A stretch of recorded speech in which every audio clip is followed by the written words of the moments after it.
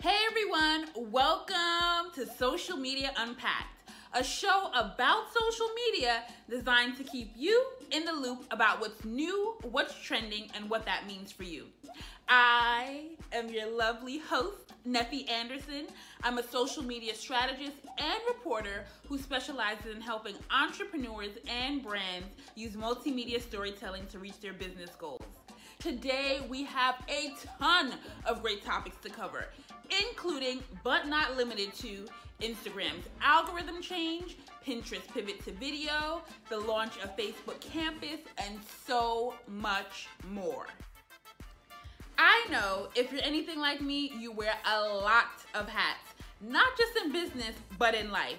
And by default, marketing is one of them. So take plenty of notes and when talking about this show on social media, please use the hashtag social media unpacked and be sure to tag me at Neffy Anderson so I can show you some love. Let's start with what's new.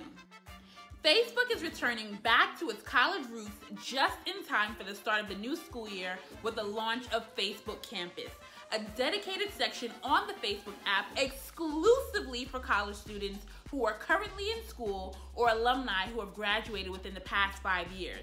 Now, as you may or may not know, Facebook originally launched in 2004 as an app that was exclusively for Ivy League college students. Since then, it has expanded to everyone else, and now it's returning back to its origins to let those that are in college have a dedicated space on the app to exclusively connect. Now, although this college only space is located within a tab in the regular Facebook app, you need a college verified email address in order to gain access. I know you're probably saying to yourself, okay, what makes Facebook Campus different than Facebook? Well, for starters, on Facebook Campus, you have a completely different profile. So your profile includes your college grade, your major, your graduation date. They really created this section of the app in order for students in college to connect with each other online. Now, I know you must be saying to yourself, okay, what makes Facebook Campus different than the regular Facebook? Well, first of all, you have a completely different user profile. So on Facebook Campus, your Facebook profile includes the enrolled classes you're in, your major, your graduation date. It really is a space for you to connect with other students that attend your college or university in a digital space. Now, also, one great thing to know is that there is a college only newsfeed, which means that you are not going to be scrolling by and seeing posts from your mom, your sister, your friends from high school, or whoever, unless they go to your school. But also, with that being said, you should probably also know that you cannot post to your newsfeed. There's no such thing as you posting or uploading a photo of yourself or writing a status in your newsfeed.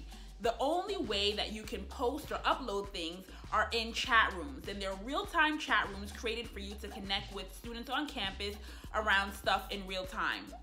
So you can create chat rooms around groups, events, dorms, study hall, classes, whatever you want. So whenever you're posting, you're posting in a chat room and not to a feed. That's one major thing that you should know. You should also know that on Facebook campus, there is no advertising. So you're not gonna see a pop up for books or shoes or clothes or some random makeup or hair or whatever it may be. On Facebook campus, it is advertising free. So everything that you see is gonna be relevant to the, the college or the school that you're going to. One of the great features of Facebook Campus is its college directory. So the classes that you're enrolled in and your graduation year and all that good stuff that you include in your profile allows other people from your school to be able to find you and connect with you. Since it's a college only space that is dedicated specifically to the school that you're going to, you are able to create campus only events, which is very different from the Facebook app. On the Facebook app, you create an event and like, you know, anybody can come. But now the events that you create within Facebook Campus are strictly for that community. So, what does the launch of Facebook Campus mean for you? Well, if you're in college or you recently graduated or you work at a university, it's something that you should probably consider. We are still in the midst of a pandemic and it has become increasingly important for us to find meaningful ways to stay connected. And this might help you do just that. Schools across the country have implemented partial or full-time remote learning. And I don't know about you, but I think it's a little difficult to meet new people online, especially when you never met them in person. So this is a great opportunity to do just that, especially for those who are freshmen, they're beginning their first year of college. How are you gonna bump into somebody at the library or the coffee shop or at the football game? Those things are not really a thing anymore. And so this presents a great opportunity to still have that connection without that face-to-face interaction. Now, one thing to note is Facebook Campus is not available to all colleges and universities. Currently, they're doing a small rollout with 30 schools that are a combination of Ivy League schools, private schools, state schools, you name it. A little small test population to kind of work out the kinks. So if you are an administrator or you work at a college or university and Facebook campus is not yet there, it's a discussion that you need to have. Bring it up at the staff meeting. See how you guys can partner with Facebook to bring this experience to your students. The fact that Facebook Campus only allows you to post in groups, events, or chats really allows you to take control back of your social media. You don't have to be worried about stumbling across something that you don't want to see or, you know, social media drama. This is a streamlined experience that is only specific to your college or university and the events and the happenings there. No outside drama, no outside noise. You get what you need and you come out.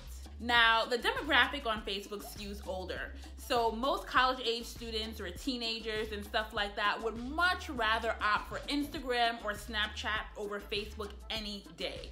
I mean, most of them don't even have Facebook accounts. So this is a pretty interesting move. Do you think that this was smart for them to create this section of the app? Do you think it will see success? Will you use it? Have you used it? Let me know in the comments below. Now, let's talk about what's trending. Instagram's algorithm change. We're gonna discuss what's going on and what you can do to boost your content engagement and visibility organically. Over the past couple of months, Instagram users across the world have noticed a significant drop in their post reach and engagement, myself included. Many noticed the change but didn't start talking up about it until recently. Influencers and various public figures began having honest dialogue with their audience about what was going on. They spoke about the low likes, the low comments, and just the lack of visibility of people that they actually follow. They're looking on their timeline, they don't see posts from their family, they don't see posts from their friends, and now the mind is starting to wonder what's going on. Instagram, being Instagram, has done it again. Yep, another algorithm change. And we're not asking whether or not they changed the algorithm because it's quite obvious that they did. We don't even want to know why they changed it because we don't care. What we want to know is what we can do to organically boost the visibility of our posts. What we want to know is why the posting strategy that was so successful last week and last month is not working now. We have questions and they need answers. There are a couple theories floating around the factors at play regarding the decrease in engagement on Instagram. Now, out of all of the theories out there, I narrowed it down to the top four. The first theory around the decrease in Instagram engagement is the shadow ban. Now, a shadow ban is when hashtag content does not appear in Explore pages. So people use hashtags in order to get their content in front of a broader audience. So you put like hashtag Black Girl Magic, and anybody who types on that hashtag will stumble across their content.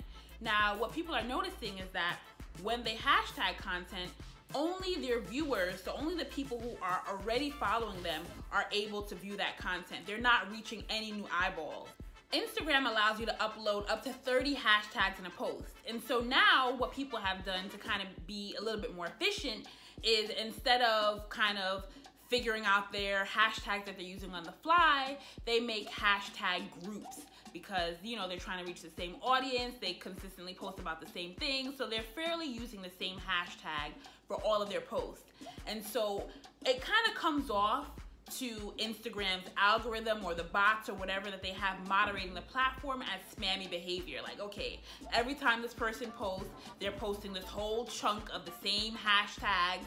And so it kind of flags it as like, hmm, maybe something fishy is going on here. any kind of bot behavior kind of raises a red flag. And so the use of like all of these hashtags that are like consistently being used, the same one over and over, the same group over and over, and all of your posts, it's like, okay, is it really you or is it somebody else? Another reason for a shadow ban is when you use a hashtag that is currently um, being banned from the platform. So I don't know if you remember, like a couple years ago, they had like the hashtag eggplant, you know, emoji that was like a thing, and it wasn't about the fruit or the vegetable. Is it a fruit or is it a vegetable? The hashtag eggplant emoji wasn't about the produce, right? It was about a body part and Instagram had to, you know, disable the hashtag eggplant emoji. They had to disable the word eggplant. And so if you're using a hashtag that has been flagged as inappropriate, you're to be shadow banned.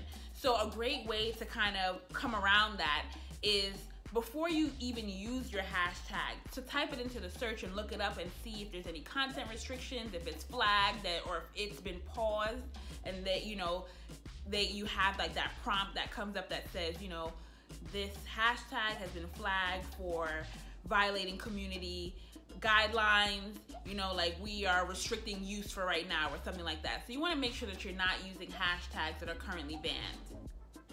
Instagram denies the existence of a shadow ban. It's a term that they don't use and they never have, but it's important to note the loophole here. That just because they don't call it a shadow ban doesn't mean that the behavior under that label isn't still happening. The head of Instagram addressed concerns and questions around the shadow ban in 2019. And let me read it to you and you come up with your own takeaway. Head of Instagram, Adam Mosseri says, shadow banning is not a thing. If someone follows you on Instagram, your photos and videos can show up in their feed if they keep using the feed being in Explore is not guaranteed for anyone. Sometimes you'll get lucky, sometimes you won't.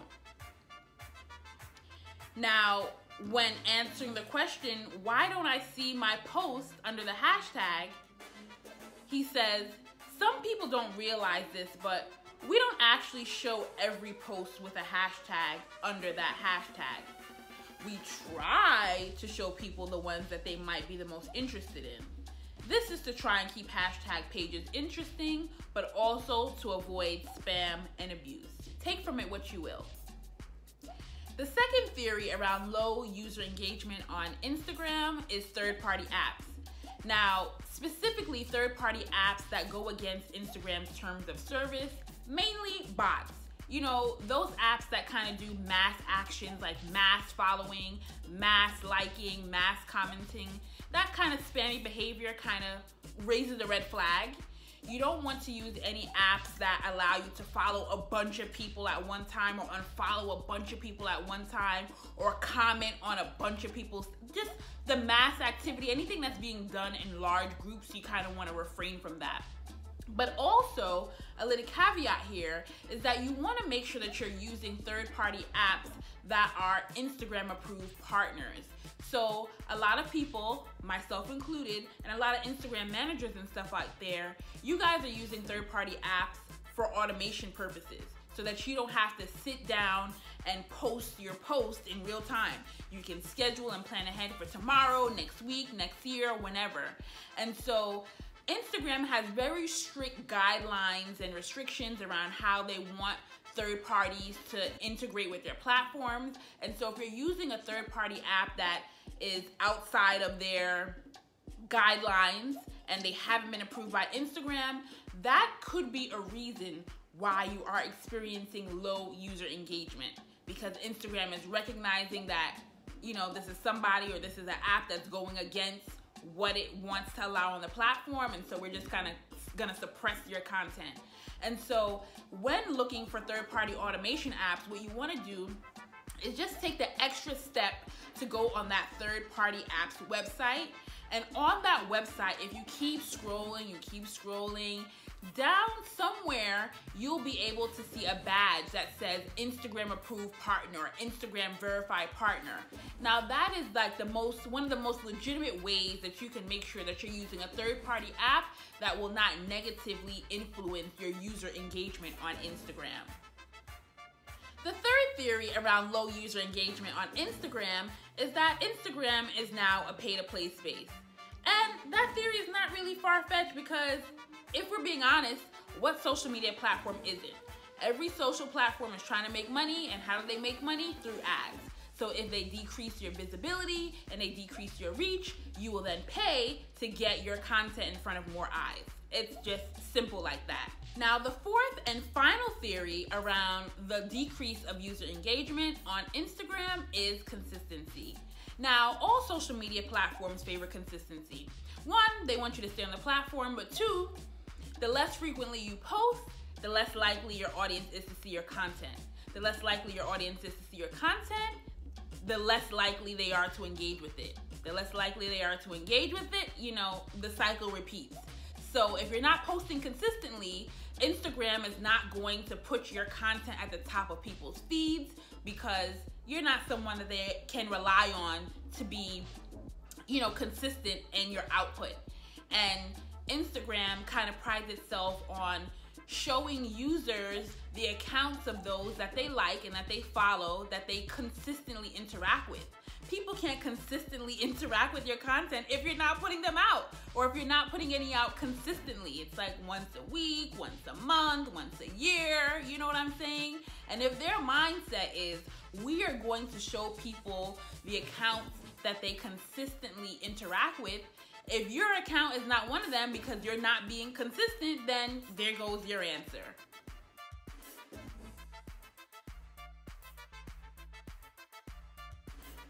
Now, although there may be some validity to these theories, not everyone falls into these categories.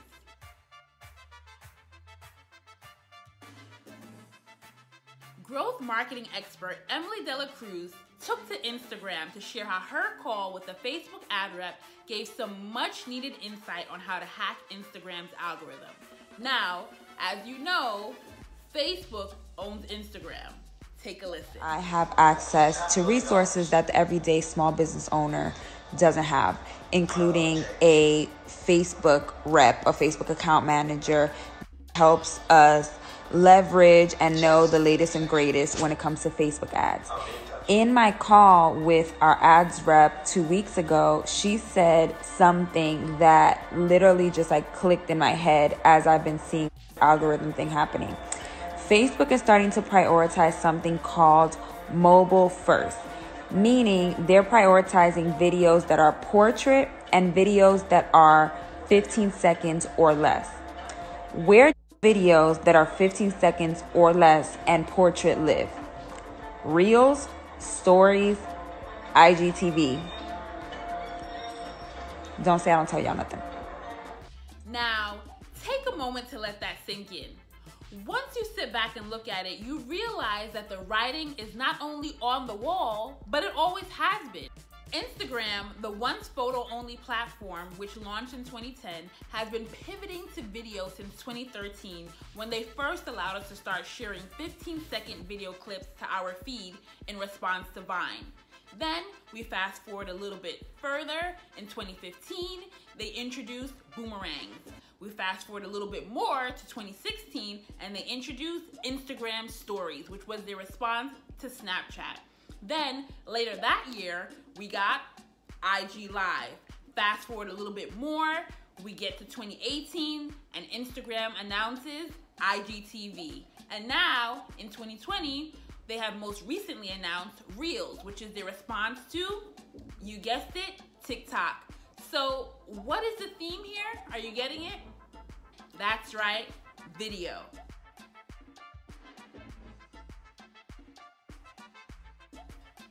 If video wasn't working, Instagram would have pivoted away from it a long time ago. Nobody in their right mind continues to do something that's not working. So obviously, it's working. Let's unpack the top two ways that you can organically hack Instagram's algorithm using video content. The first way that you can use video content to hack Instagram's algorithm is by getting your audience to see your content in chronological order again. Now, I know what you're thinking. You're probably like, girl, we haven't had a chronological feed since like 2016. But what I want you to realize is that through Instagram stories, Instagram live, and reels, you can allow your audience to see your content in real time. So they're not gonna see your sale post or whatever major messaging that you have three days after you needed them to see it. With Instagram stories, Instagram stories continues to push your content to the top of your followers' feed every time you post. So every time you post, it brings you right to the front again. Every time you post, it brings you right to the front again. You don't just, it's not, there's no algorithm there. It's like whoever posted last gets posted first. You get what I'm saying? You follow what I'm saying? Then with Reels, Reels is Instagram's latest product. And whatever they post, whenever they come out with a new product, they're always boosting that product's visibility in their audience feed because they want people to use it. And so Instagram is that new product. They want people to use it. They they're even um, in the process of figuring out placement of a Reels button in your navigation bar so that you can just kind of go to it just like how you go to the explore page and stuff like that just a one two click kind of thing and so start making reels right it's their newest product start testing it out and i guarantee you that you will see a boost in your visibility it will kind of push you up to the top of your audience feed. Now, Instagram Live is a real time thing where you get to talk to your audience in real time at a set time, at a set date. And similar to Instagram stories, when you go live, whoever's live that you follow, it's the first couple of stories or icons that you see at the top of your feed. So if they're live at the moment, you'll see it in real time. And so, what you want to do is you want to capitalize on that. You want to go live, but then also after you're live, you want to make sure that you save that live to IGTV and then share a little preview post to your feed. And it's, you know, you have that nice little full circle moment. So, you engage with people in real time on live, and then you also have video content for your feed because you're saving it to IGTV you're posting a little preview and then they can go to your IGTV to watch what they missed on live. They're staying there. Video, remember, is the most engaging type of content. Just because of its nature, it allows you to stay on the platform or to stay on the post longer. So you're already increasing your engagement because people have to, you know, stay a while to watch the video. So get back to posting content in real time. Get back to allowing people to see your stuff in chronological order again.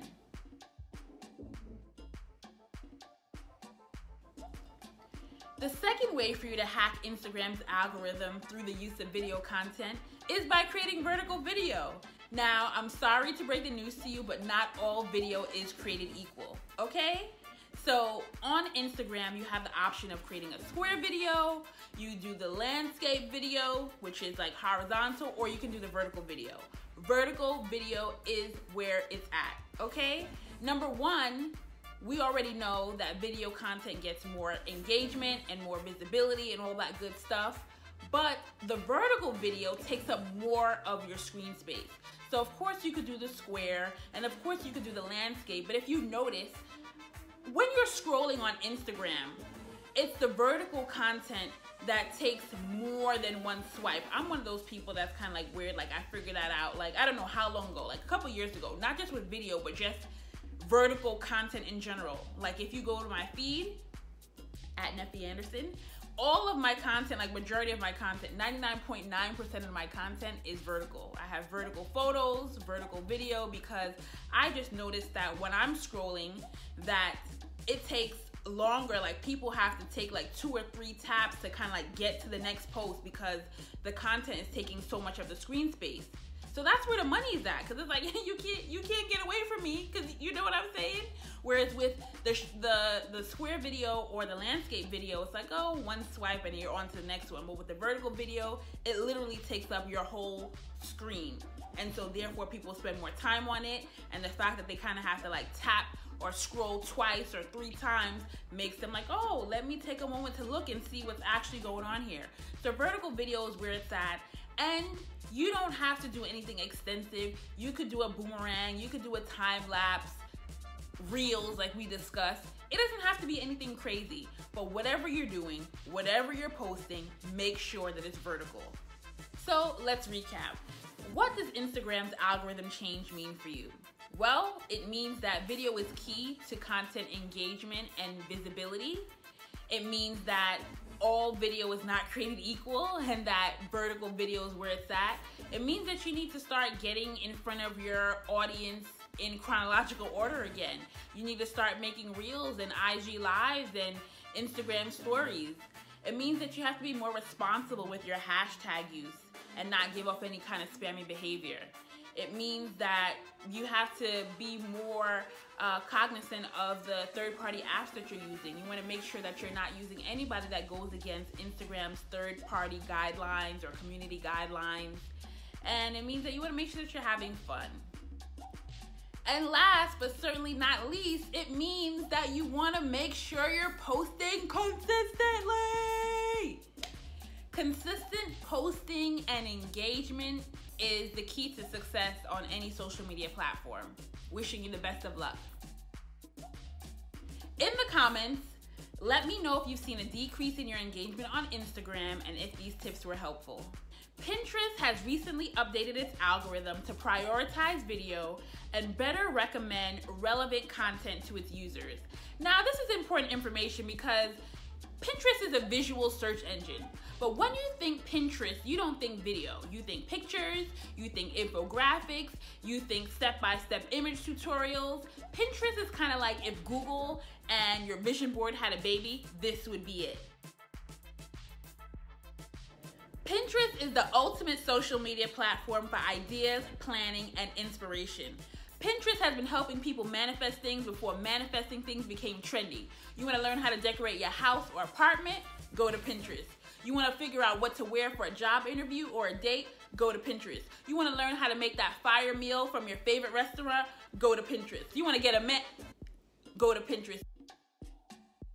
89% of people on Pinterest say it's where they go for purchase decisions and inspiration. 85% of pinners say it's their go-to destination when starting a new project. So needless to say, video is very much so a welcome shift. And if you didn't know, across all social media platforms, video is the most, the most engaging content type. And yes, that includes Twitter, that includes LinkedIn, that includes Facebook, that includes Instagram, that includes you fill in the blank.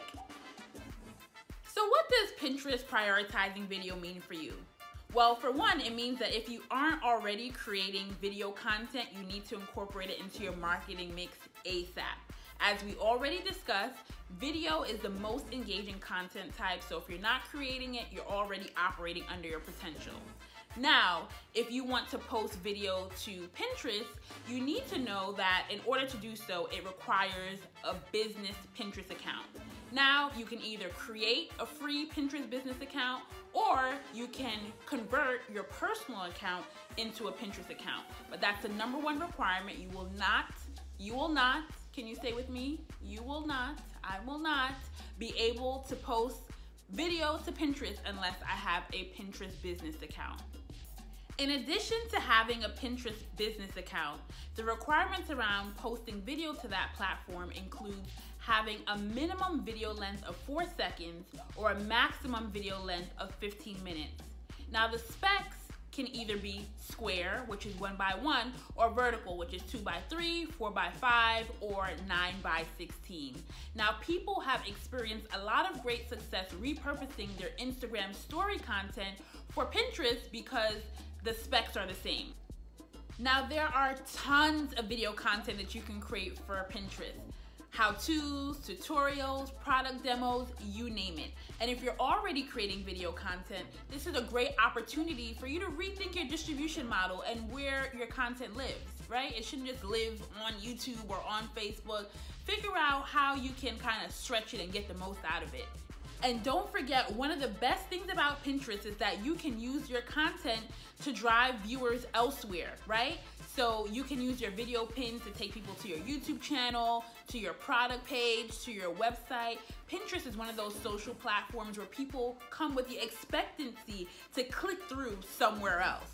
So do not miss on that opportunity. Are you already posting video content to Pinterest? If not, will you start? Let me know in the comments and don't forget to put your Pinterest name and the type of content that you post there because you never know who's looking for what you have.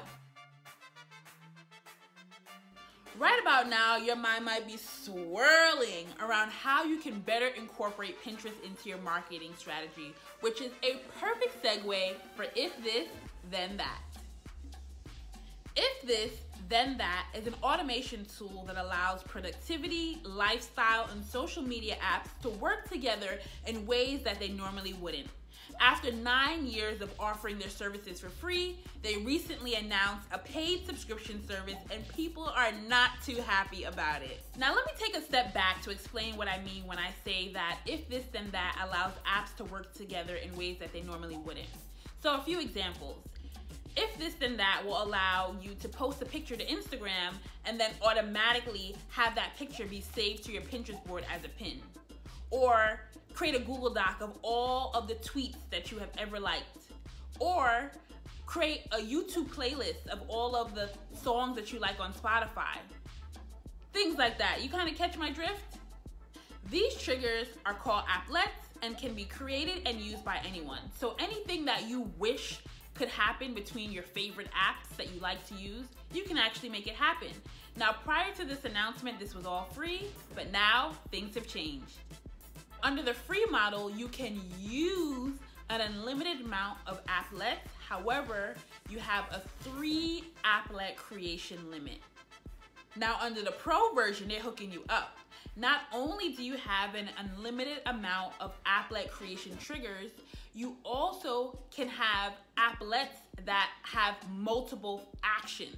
So, for example, if you have a smart home, right, your applet can allow when somebody rings the doorbell for the music to be turned off, for the fan to turn on, and for the garage to open. You know what I'm saying? It's like if this, then that, then that, then that. They're also offering um, faster service or faster speed of the applet triggers as well as customer support. So now you're probably wondering, all right, what's the price of Pro? Now, what does if this then that pro subscription model mean for you? Well, if you don't create your own applets and you don't have the desire for your applets to do multiple triggers, then nothing. Your life is unchanged. However, if you are an applet creator, I would really suggest that you take the time to do research before creating new applets since there is a three creation limit if you do not go with the pro service. And what I've come across is that there are multiple applets that do the same thing. And it's like, did no one research before creating a new trigger? So you don't want to waste your, you know, your uh, three applet limit by creating an applet that already exists. So for those of you who are creating, I would suggest that you do your due diligence to make sure that whatever it is that you want to create isn't already out there. Whether or not you create your own applets, I would strongly sit down and consider how this pro subscription model impacts your life. Because whenever somebody or a company starts charging for things that they never used to charge for before, it's very rare that they kind of go back to that free model, you know? So if I were you, I would consider looking into alternatives and seeing what other apps or options there are out there. Diversify your options a bit. If this, then that has been helping people work smarter, not harder for years. I mean, they have been on the front lines. So comment below and let me know what you think about the switch. Do you use the app? Do you use any alternatives? Have you created triggers and applets of your own? I'd love to hear what you have to say. And now for my favorite part of the show, the tip of the week. Now, this week's tip of the week is to go live, but I know what you're thinking, Neffy. We know about going live. Everybody's been going live, especially in quarantine Facebook Live, Instagram Live, YouTube Live, you name it. But there is a platform that is a best kept secret. And that platform is the website of the world's second largest retailer. Can you guess? Can you guess? Can you guess? Amazon. Amazon Live is the best kept secret. Amazon Live is kind of like the digital version of QVC. It is the perfect opportunity for people who either sell products on Amazon or are Amazon influencers like myself, who have an Amazon storefront with our curated list of products and things that we recommend. Now, this is a great space to just sell things. You can do demos, you can do how to's on the products that you own, the products that you're selling, the products that you have affiliate links for. It's just kind of like the best kept secret because everyone shops on Amazon. And what better way to kind of figure out what it is that you want to buy, if you want to buy it, by tuning in to see that product in action or to hear about how it's being used by your favorite influencer. So, this is such a great opportunity for those people who are in the selling space.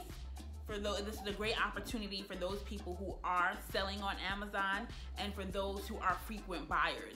So, if you're not a part of the Amazon Influencer Program, put that on your to do list to do so that you can go ahead and go live and just tell your story and share why these products are your favorite and you get a nice little commission on the back end. That's it for today's show. Thank you so much for watching.